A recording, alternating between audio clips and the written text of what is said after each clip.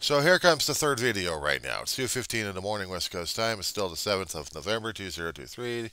The Weaver John C. Rosamond, California. How you doing? Okay, back to consumer math, what I was trying to talk about.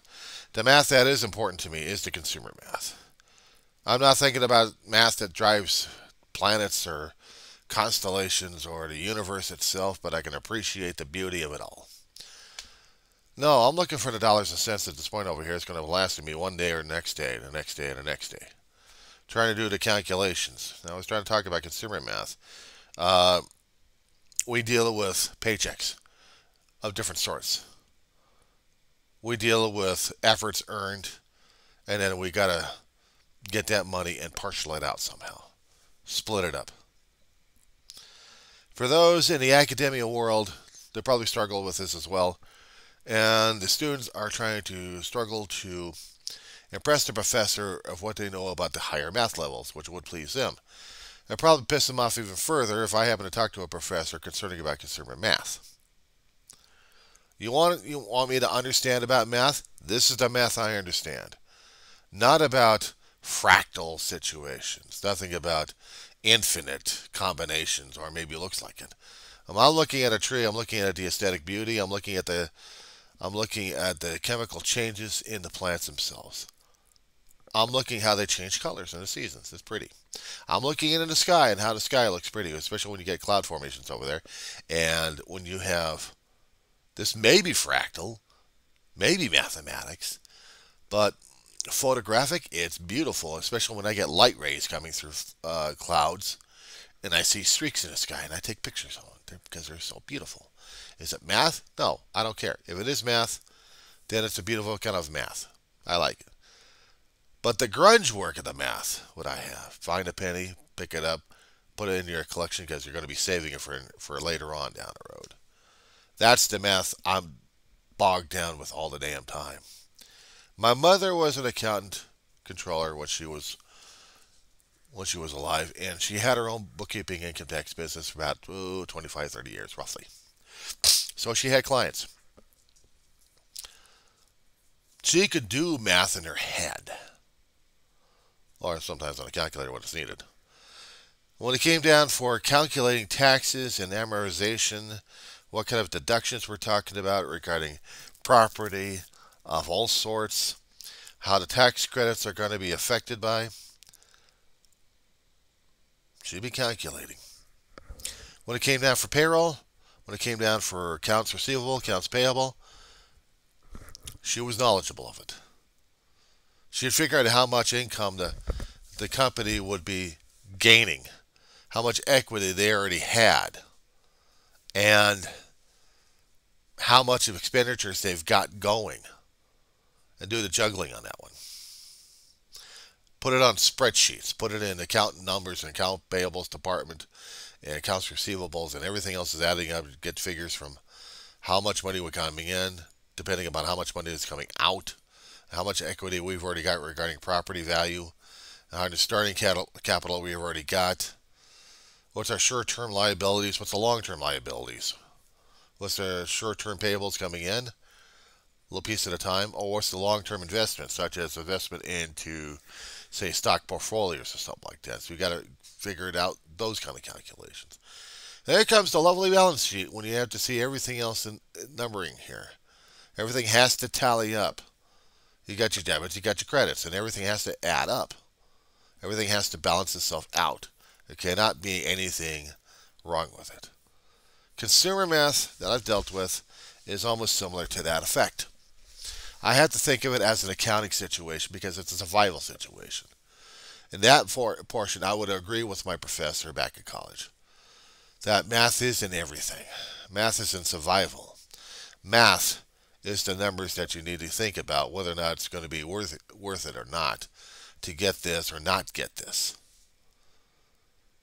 You have to keep looking at how much you're spending here compared to how much you're going to be saving if you actually knock out some of that expenditure right there. And the same way goes for businesses as well.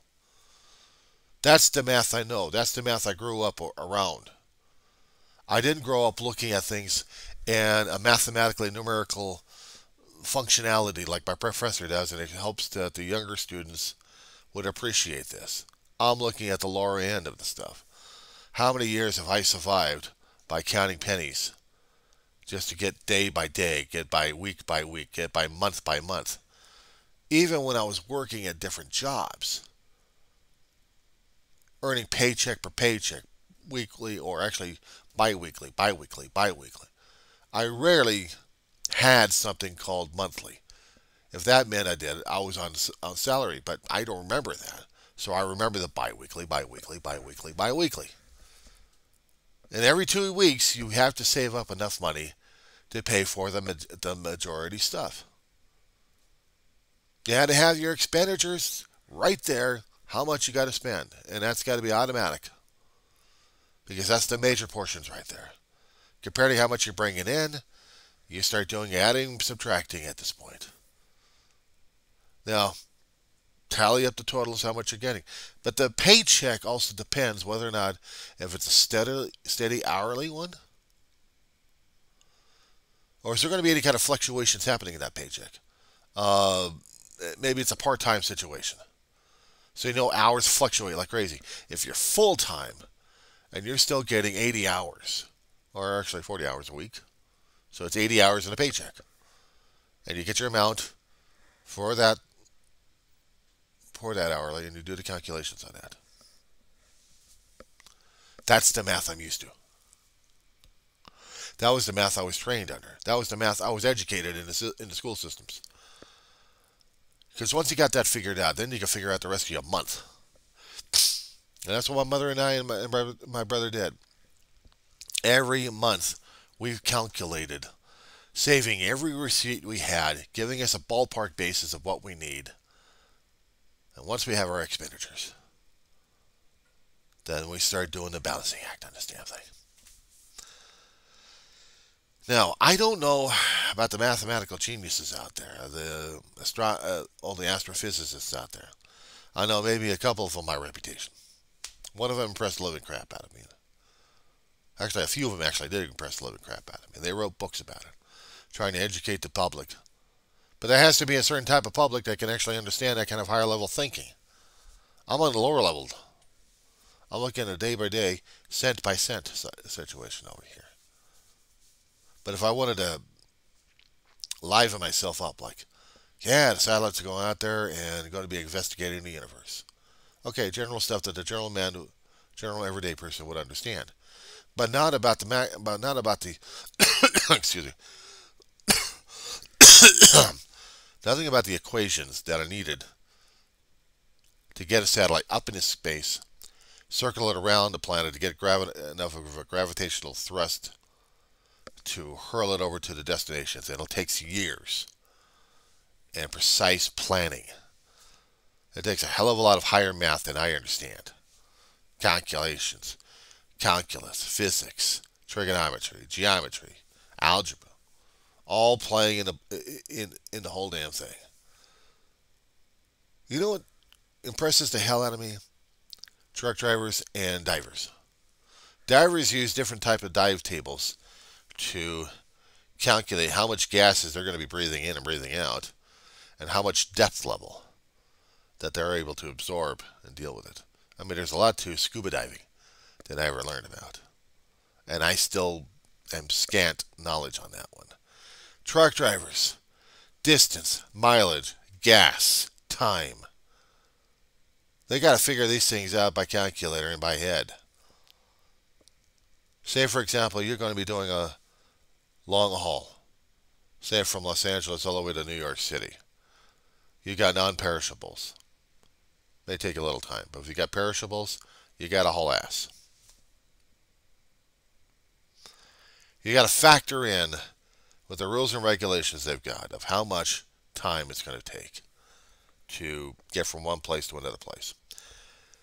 You need time for sleeping. You need time for going to the bathroom. You need time to eat. And you also need time to haul ass on the roads. But you also need time to fuel up every so often. You got to do the calculations in your head on this one and on the calculator. And you got to put it into the logbooks of what you've done there during those days. That's a lot of calculations. That's a lot of paperwork. I got to admit it to these truck drivers. They have to be smart. They have to be. So here we are now. And they do things electronically. The computers will do it automatically. But imagine doing this without the computer's help. You have to do all the calculations yourself when the systems go down. Now they got to start using it.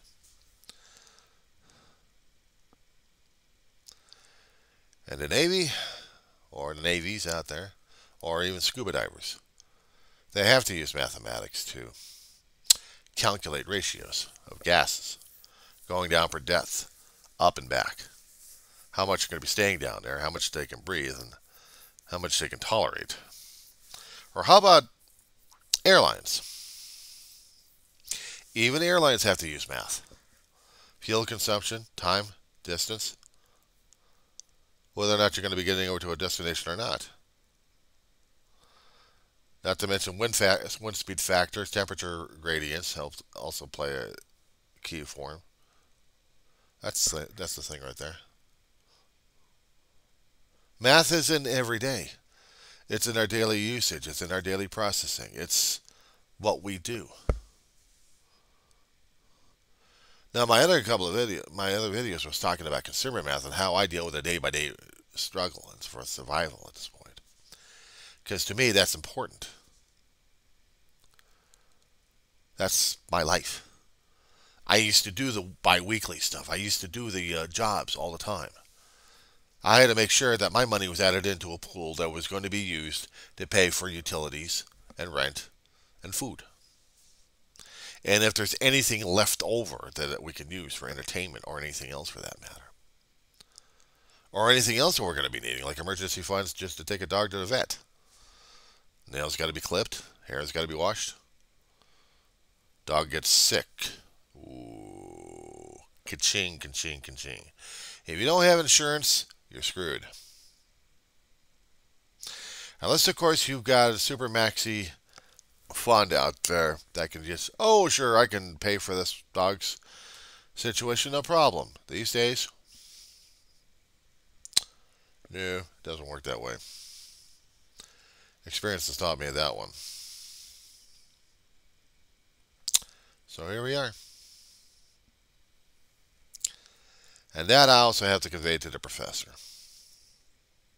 I have to.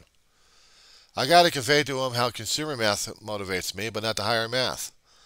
I don't care what the hell Pythagoras talked about, or Euripides, or Eratosthenes, I think, concerning about the curvature of the Earth. It doesn't equate to me because it has no direct bearing. However, we're talking about bankers in this situation. That's got a direct bearing. But what about the direct bearing concerning about, oh, maybe a project that'll be uh, lasting for a long while? Such as? Well, you work for an aerospace company. How much money do you need for the project? Now you got to do cost control. Now you got to do cost estimates at this point over here. Material, manpower, hours. How many? Uh, what do you got there in order to get this one particular project going? Same for construction. Same for uh, transportation, building construction, aerospace, naval vessels. They all need mathematics, not exactly to design and build and create the object, it's the processing behind the behind the scenes that you got to understand. Management costs, labor costs, not to mention taxes, permits. How much money is that going to be costing at this point over here? Is there going to be any cost overruns? Why is there going to be cost overruns if you already had this estimated? Well, let's see. Uh, more materials that was needed that we didn't even realize at this point over here. More labor that we didn't think about times. And labor is fluctuating. People get sick. People get injured. People fired. People get laid off. People quit. You need more personnel. Project gets a little bit longer on that one. More permits are needed because there's bureaucracy involved. Ah, there's the other thing right there bureaucracy. Politics. Now you're talking about everyday math in this situation over here. How much money you're going to be greasing these politicians in order to get your way to get your project going. And is it going to be necessary for this particular politician or for the rest of your area? How big is it? Is it for defense? Is it not for defense? What is it for? Is it for interstate commerce? You have to think about the logistics in this situation over here. You're talking about everyday math, you're talking about everyday logic at this point. We talk about Venn circles. We talk about Venn diagrams. We talk about numbers in these little circles over here and what the hell do they mean. For, for the mathematicians who can figure this stuff out, okay, that's their job. But for the common everyday man who thinks about this stuff, he's not thinking about that. He's thinking about, am I going to be keeping my job? Am I going to be able to support my mother in the hospital? Her bills are climbing up. Ah, medical expenses. Consumer math, maybe, worse. Insurance companies. How much of the copays and how much of the premiums and how much deductibles are going to be used and already used up? What what are you going to be responsible for? If you're dealing with an HMO, okay, well you got certain set parameters. But you got PPO, oof, that's even worse. Because now the math is even worse regarding that. So there's the other thing I got to deal with. I mean, I can write all these damn suggestions down at this point over here, but man, I'll be pissing off my professor left and right. I wanted to make it nice, clean, and simple. But you know, math is not clean and simple. You think numbers and diagrams are, are basically it, but you got to think about it. Numbers and diagrams are also people. They're people. They're events, they're places, they're things happening. Math is, math is all around us. You can't just narrow it down for one or two. You got to narrow it down on everything. What am I looking for? I'm looking for a damn pencil. Eraser makes work, but sometimes I I do miss a good pencil that works. That eraser maze will have to be working for it anyway. So, that's the end thing. Give me a second. I got to write this shit down. So I hope you folks are getting this. Math is in our everyday life that we realize it or not. We're constantly influenced by numbers. We're constantly influenced by calculations in our head because we're constantly on survival at this point. One way or another, math affects us a great deal in our everyday life and struggle. And that's what we have to basically understand and deal with. So do I as I write this damn paper in a creative fashion for my math for liberal arts professor, who I hope he can understand that not everything is all Greek, not everything is physics, that everyday math we deal with is just as important as all the higher level math. Because these days, to me, that's the only world I live in.